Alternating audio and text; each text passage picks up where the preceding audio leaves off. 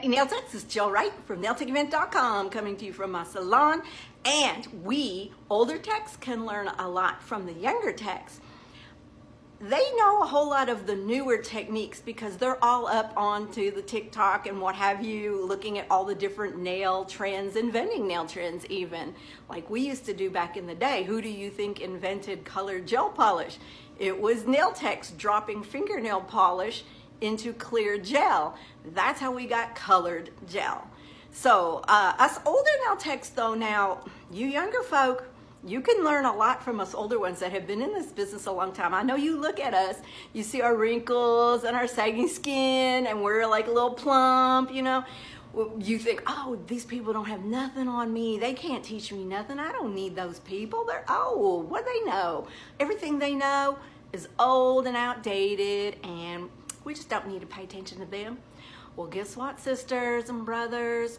Us older nail techs, we know a whole lot of tricks and we know a whole lot of nail secrets that you young techs don't know yet because you haven't been where we are. We have been where you are now.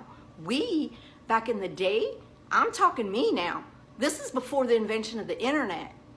No internet, no YouTube, no texting, no no cell phones. It was all in magazines. This is how we had to learn out of beauty school. I had four days of nail training.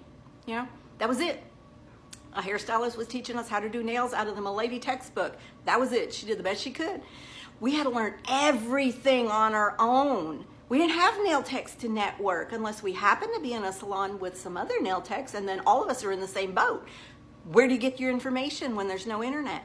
You know, no TikTok, no Facebook, no nothing we had to read Nails Magazine, and then a little bit later, Nail Pro came out.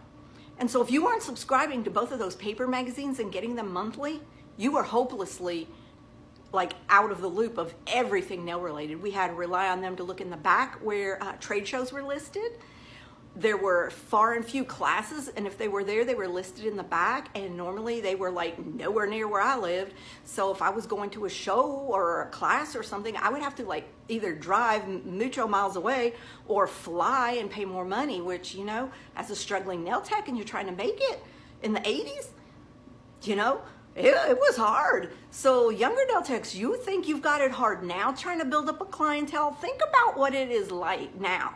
You have every bit of information at your fingertips. All the business tricks and tips, everything you need to know is on the internet. All you have to do is Google search it and you could find the answer to everything. We we had to go find it out the hard way.